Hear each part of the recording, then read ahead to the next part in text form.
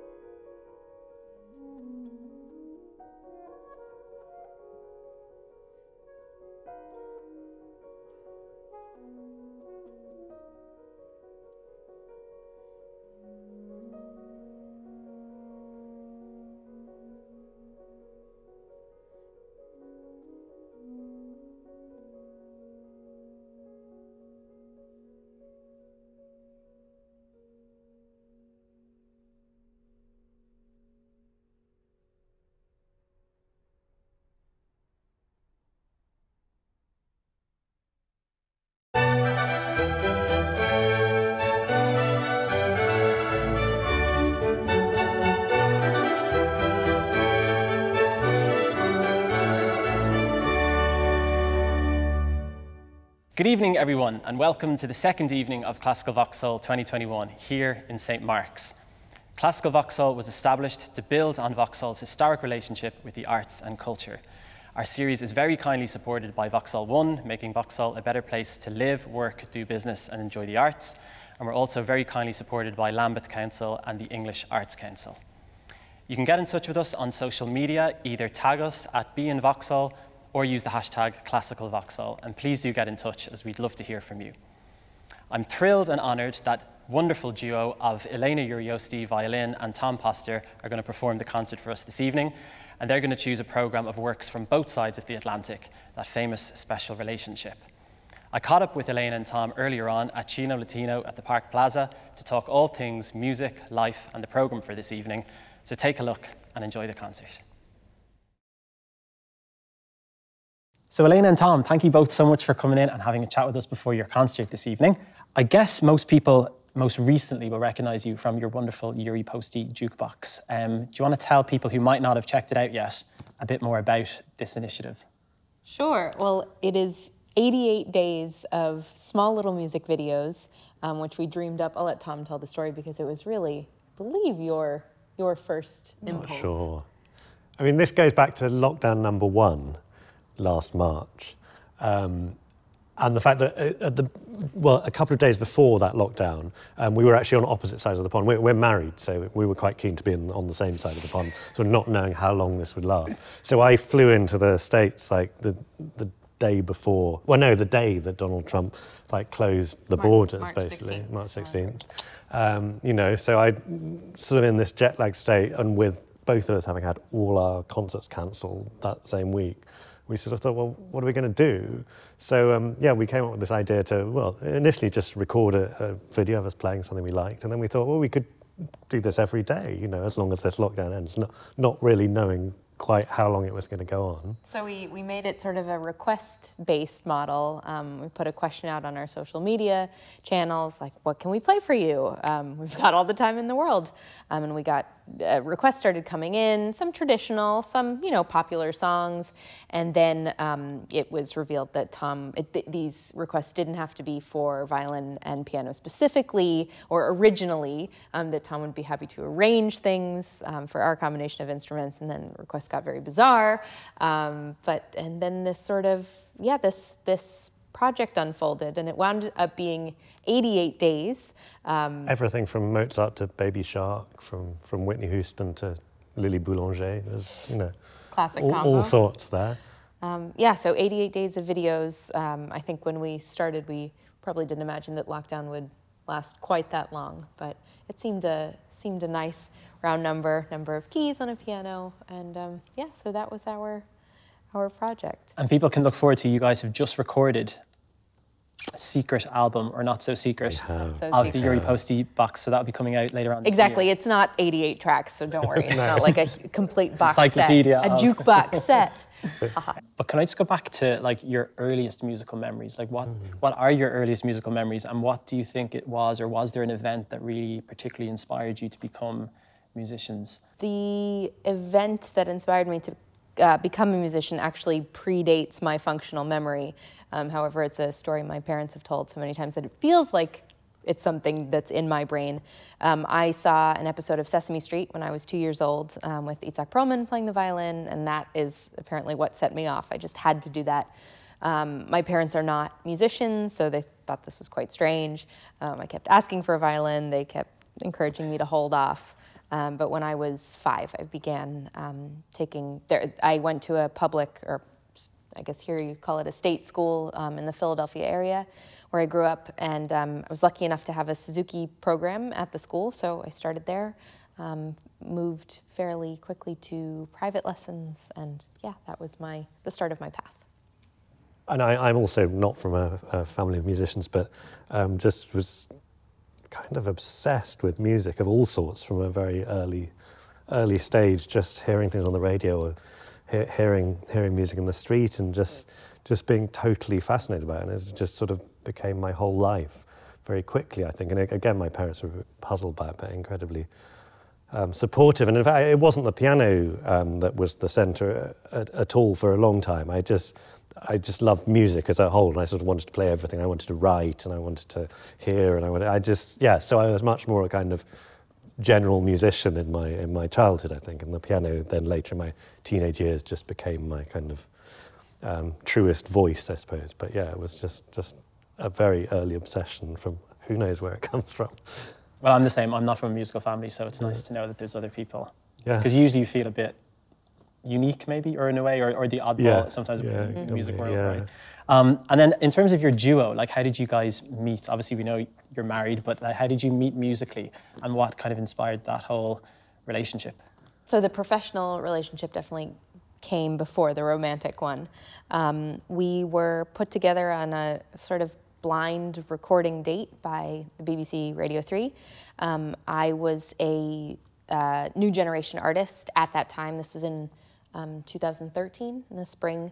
Um, Tom had been a member of the scheme uh, with his ensemble a few years prior, and I was doing a lot of flying over and um, requesting that my, at the time, American um, piano partner come and, and do a lot of recording with me. Um, and that was wonderful, but they finally were like, you'll play with someone here. so So she um, got stuck with me. yeah. Brilliant. Um, no, so we did a we did a session together. It was purely professional, very friendly, super easy. I think we realized that we liked working together. Um, then a couple years after, about two and a half years later, um, I was um, doing a residency at the Roman River Festival, um, and they asked whether, as part of it, I would like to do a recital. Were there any pianists who I liked working with? And I remember giving Tom's name. I'm like, oh, I remember.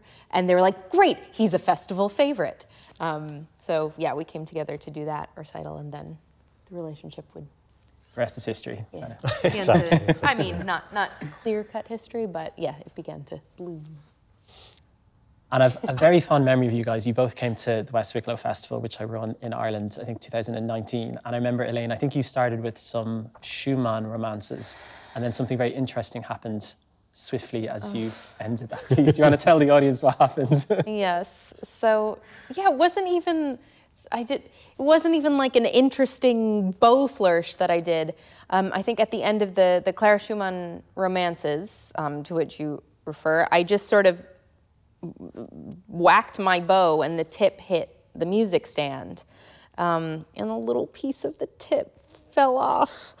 Oh, gives me the shudders just thinking about it. Um, and I had already had I had already had a um, crack in this particular bow, so I was like, oh my god, again, this, this thing is cursed. I'm cursed.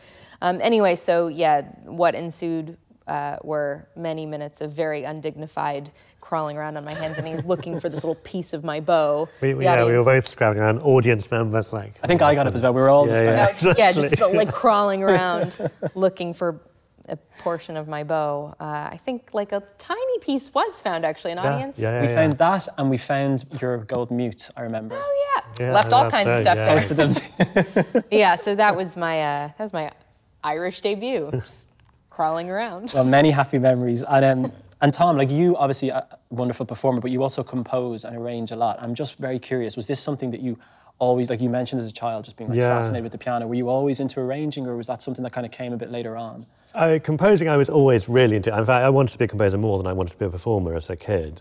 Um, but I think you have to really want to compose, and maybe I just didn't need to do it quite enough. It's, it's, it's sort of almost more self-destructive than, than playing. You know, we're self-critical enough, enough of, as pianists and violinists, but as a composer, you've got this little blank sheet of manuscript paper, and it's, it's I, I, I found it too much in the end. Whereas arranging, like someone else has already written the tune or the piece, and, and you know you're just sort of polishing it and shining it up, allowing it to shine, and it's it's full glory. And so I find that like a good blend of it satisfies some creative part of my brain, but I don't have to come up with the original material. So yeah, I, I I love arranging.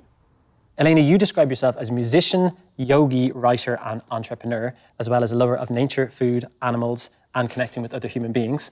Um, That was, by the way, just an attempt to make my bio sound less boring. Oh, I love it. um, and it also says you've been practicing yoga for over a decade and you're the co founder of Intermission. Um, you'll be treating some of our younger viewers to a movement or an introduction to movement workshop. Do you want to tell us a little bit about what to expect? And um, I suppose it's not for even just younger people, any, anyone Yeah, of any age can, can tune in, right? Absolutely. So I started practicing yoga fairly seriously in 2009, and I came to it for totally non-musical reasons, but um, was pretty immediately um, very, very pleased with the the benefits I was experiencing um, towards my my violin playing, as well as just you know general life health and happiness. Um, I it was having such a profound impact on my muscles, how they felt, my concentration. Um, I was learning kind of accidentally tools to help me cope with performance anxiety, nerves. Um, so it was just, it opened up all sorts of doors for me um, musically. And um, over the years, my, my, my other life partner, as, I refer to her, Melissa White, she's also a violinist, um, she's the co founder of Intermission. We got to talking about, you know, all of the ways that yoga was impacting our lives, musically and otherwise, and how much we wish we'd had a mindful movement practice like yoga when we were in our formative years of training, you know, practicing so much.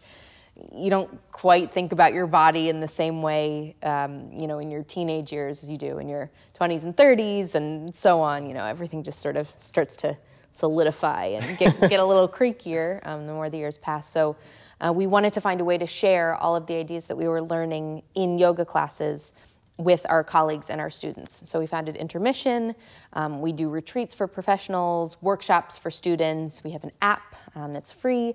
So yeah, this um, this class that I'll be doing is sort of you don't need any yoga experience. It's not about you know being flexible or twisting yourself into a pretzel. It's just um, learning some stretches for the arms and hands, things that anyone can do, actually, not just musicians. We all spend so much time typing, texting, driving. Uh, we use our hands a lot, and it's, it's good to, to learn ways to counter those movements. Um, we'll deal with just some alignment ideas, ways that we can stand and sit um, in a more healthy way and bring the instrument to us. Obviously, I know as pianists that's a little bit more difficult, but, but just finding optimal ways of positioning ourselves against gravity um, and then just get the, the blood moving, um, just some general like healthy tips for musicians. That, that will be the focus. Yeah, no, I think it's wonderful. And your sentiment of, like you said, being at one with your instrument is so important because so often I think you're right, we don't receive that advice or that mindset in music college. It's much more about the kind of technical aspect of playing Certainly. your instrument as opposed to how you actually just be at ease with it. Yeah, so. I, I mean, I definitely didn't receive that in my mu- musical education. It was all about the hands and the fingers and making the sound at any cost. Um, but it didn't really deal with the body as a whole and the, the person as a whole. And I think that um, yoga is so helpful in starting to connect all the individual pieces of the person.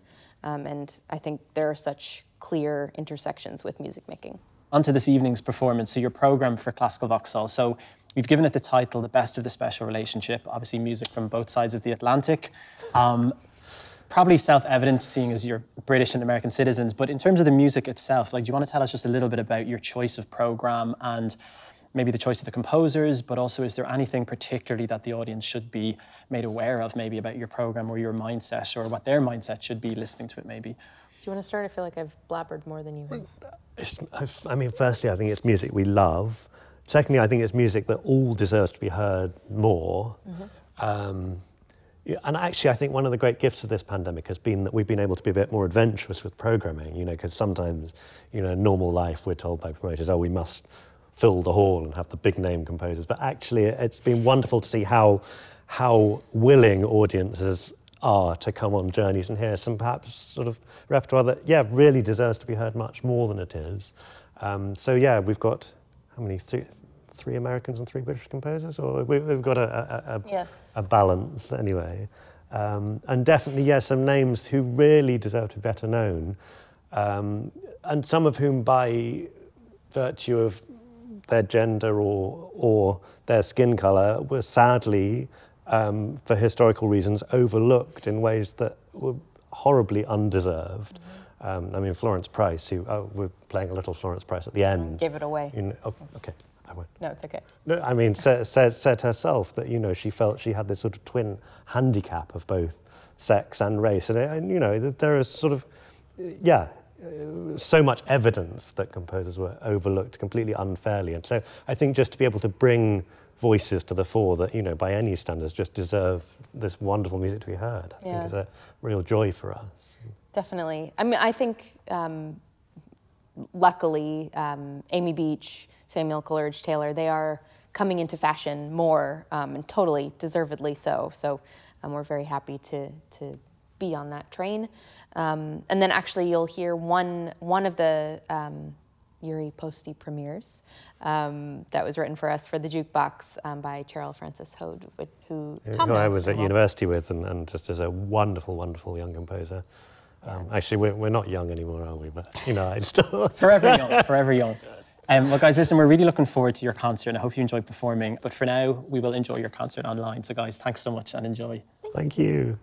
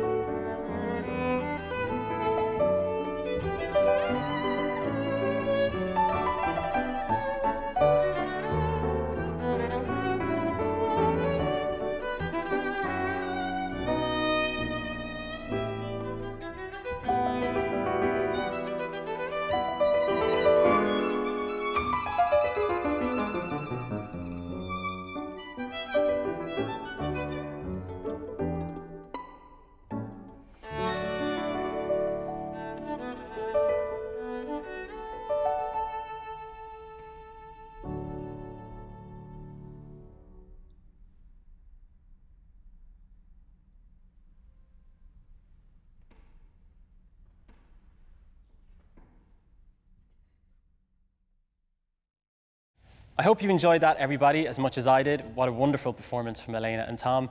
Don't forget to tune in tomorrow at the same time, here, same place, for the wonderful duo of Jess Gillam, saxophone, and Zeynep Özsuca, piano. We're delighted to bring you these concerts free of charge, but if you're in a position to make a donation to support the future of Classical Vauxhall, please do consider doing so. And until tomorrow, take care.